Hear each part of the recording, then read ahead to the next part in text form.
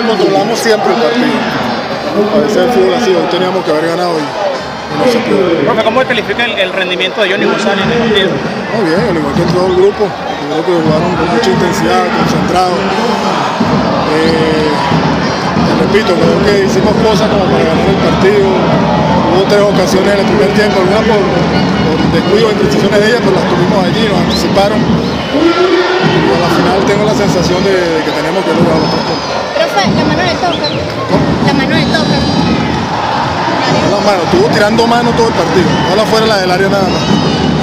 Mano, foul, a Tico lo golpean con, sin balón, lo meten el pie, entonces los árbitros yo no sé qué están pendientes, pero, pero bueno, más allá de eso yo tengo que valorar el rendimiento de mi equipo, que, es lo importante en función de lo que, de lo que vi esta tarde y, y yo me voy satisfecho porque de verdad jugamos para ganar, para entregarnos allí y, y si bien es cierto que el miércoles nos costó un poco controlar el juego y hoy creo que tuvimos que haberlo ganado.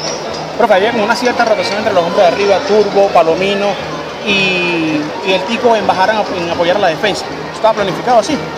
Obviamente, el equipo tiene que buscar tapar la salida por el medio, había que buscar esa descarga que iban a tirarse en los volantes de ellos. Y, y bueno, no iba a ser un partido de muchas ocasiones. Caracas no es un rival que se le genera muchas, pero las tuvimos y hay que hacerlas.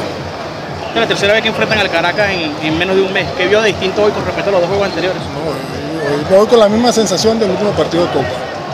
Jugamos mejor, fuimos más contundentes a la hora de vivir la pelota y creo que debimos haber ganado.